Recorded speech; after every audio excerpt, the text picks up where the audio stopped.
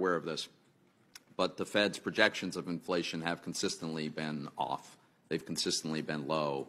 And at some point, I think we need to acknowledge that this is not playing out the way um, I think the Fed had hoped. Let me shift the topic to a central bank digital currency. Um, so I'm increasingly intrigued by the opportunities that a properly designed central bank digital currency could provide to the U.S. To name a few, um, instant zero-cost payments, interoperability and programmability with smart contracts, international competitiveness all come to mind. But getting the design correct, getting it right is essential. For instance, the privacy of Americans has to be respected. We shouldn't design a central bank digital dollar that allows the government to spy on Americans every transaction.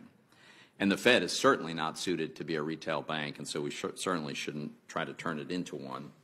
Uh, in my view, privately issued digital currencies should be able to coexist with a digital dollar if we go down that road.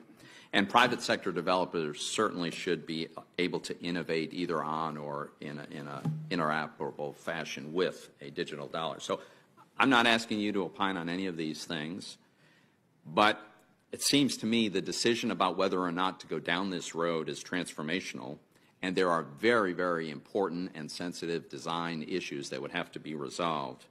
So I think that ought to be done in a transparent process with political accountability, which is to say with congressional input. Could you comment on how important you think it is to have congressional authorization if we're going to go down the road of a digital dollar? I, would be glad to. Um, and by the way, I, I, agree. This, this is critical work that we want to take forward. So the, the laws that were, the relevant parts of our law were written long before digital finance was a thing.